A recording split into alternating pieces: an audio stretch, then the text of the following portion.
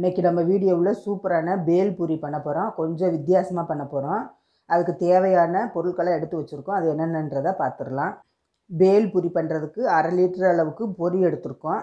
ரெண்டு கேரட்டு இந்த மாதிரி துருவி எடுத்து வச்சுருக்கோம். வறுத்த வேர்க்கடலை கொஞ்சம் எடுத்து வச்சுருக்கோம். அப்புறம் பெரிய வெங்காயம் இந்த மாதிரி குட்டி குட்டியாக கட் பண்ணி வச்சுருக்கோம். இன்னும் குட்டியாக கூட கட் பண்ணிக்கிறலாம் அப்புறம் பாதி தக்காளி விதையெல்லாம் நீக்கிட்டு இந்த மாதிரி குட்டியாக கட் பண்ணி வச்சுருக்கோம். சுண்டல் ஒரு கைப்பிடி அளவுக்கு வேக வச்சு எடுத்து வச்சுருக்கோம். லெமன் ஜூஸு ஒரு ஸ்பூன் அளவுக்கு எடுத்து வச்சுருக்கோம். அப்புறம் இதெல்லாம் பண்ணுறதுக்கு தேவையான கொஞ்சம் மசாலா எடுத்து வச்சுருக்கோம். மஞ்சள் தூள் கால் டீஸ்பூன் அளவுக்கு உப்பு தூள் ஒரு டீஸ்பூன் அளவுக்கு இது சாட் மசாலா ஒரு ஸ்பூன் அளவுக்கு எடுத்துருக்கோம். இது மிளகாய்த்தூள் ஒரு ஸ்பூன் அளவுக்கு எடுத்திருக்கோம்.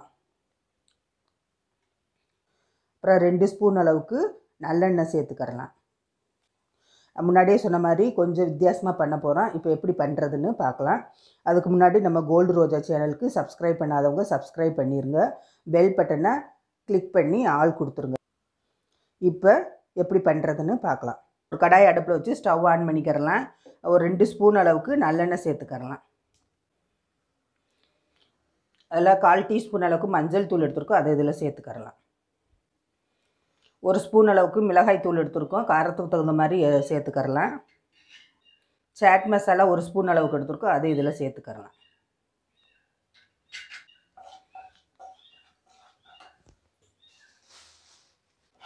இதெல்லாம் லைட்டாக ஆயில் விட்டு நம்ம இந்த மாதிரி வதக்கி போட்டோம் அப்படின்னா ஒரு மாதிரி பச்சை வாசனை இல்லாமல் இருக்கும். அதுக்காக தான் நம்ம இது மாதிரி போடணும்.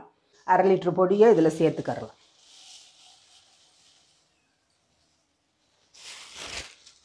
இதை லைட்டாக கிளறி விட்டுக்கரலாம் இது ரொம்ப வறுக்கணும்னு அவசியம் இல்லை.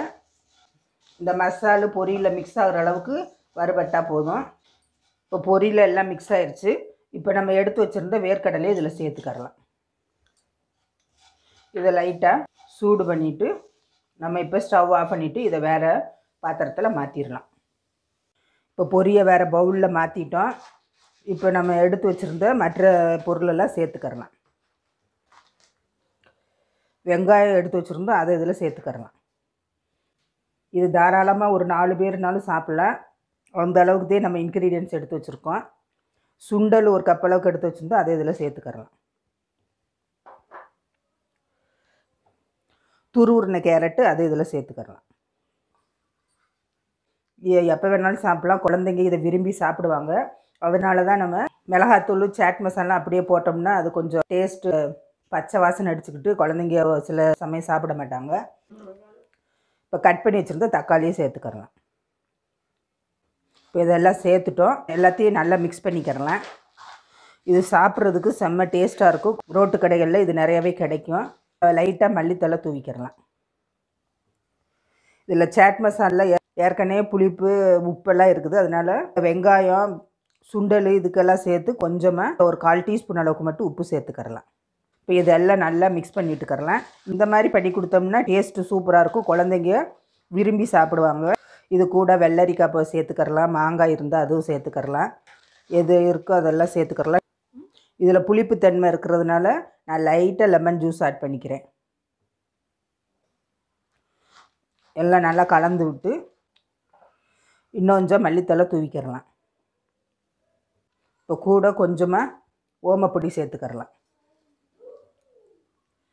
மிக்சர் இருந்தால் கூட சேர்த்துக்கறலாம்.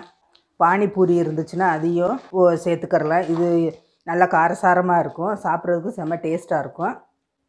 குழந்தைங்க ஸ்நாக்ஸ் கேட்கும்போது இது எதுவும் இல்லை அப்படின்னா இந்த மாதிரி இது உடனே ரெடி பண்ணி கொடுத்தா குழந்தைங்க ஹாப்பியாக சாப்பிடுவாங்க. அவ்வளோதான் முடிஞ்சு. பண்ணுறது ரொம்ப ஈஸியானது தாராளமாக ஒரு நாலு பேர்னாலும் சாப்பிட்லாம். அந்த அளவுக்கு இருக்குது இதை எடுத்து நம்ம பரிமாற வேண்டியதுதான்.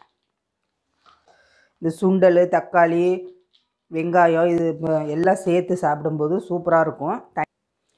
சூப்பரான பேல் பூரி தயாராகிடுச்சு இதில் பானிபூரி இருந்தாலும் நம்ம அதை பொறிச்சு இதில் ஆட் பண்ணிக்கிறலாம். லாஸ்ட்டாக இன்னும் கொஞ்சம் ஓமப்பொடி சேர்த்துக்கிறலாம்.